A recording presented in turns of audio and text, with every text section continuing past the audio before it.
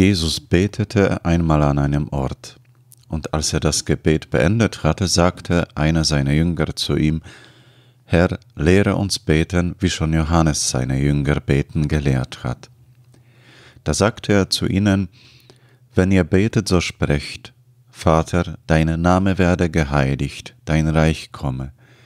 Gib uns täglich das Brot, das wir brauchen, und erlass uns unsere Sünden, denn auch wir erlassen jedem, was er uns schuldig ist, und führe uns nicht in Versuchung.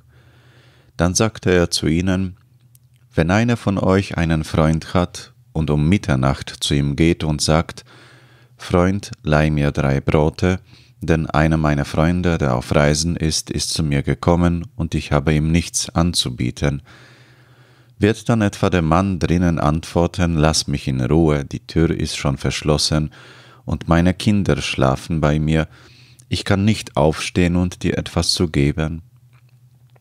Ich sage euch, wenn er schon nicht deswegen aufsteht, um ihm seine Bitte erfüllt, weil er sein Freund ist, so wird er doch wegen seiner Zudringlichkeit aufstehen und ihm geben, was er braucht.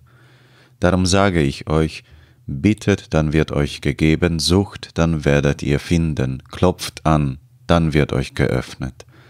Denn wer bittet, der empfängt, wer sucht, der findet, und wer anklopft, dem wird geöffnet. Oder ist unter euch ein Vater, der seinem Sohn eine Schlange gibt, wenn er um einen Fisch bittet, oder einen Skorpion, wenn er um ein Ei bittet? Wenn nun schon ihr, die ihr böse seid, euren Kindern gibt, was gut ist, wie viel mehr wird der Vater im Himmel den Heiligen Geist denen geben, die ihn bitten.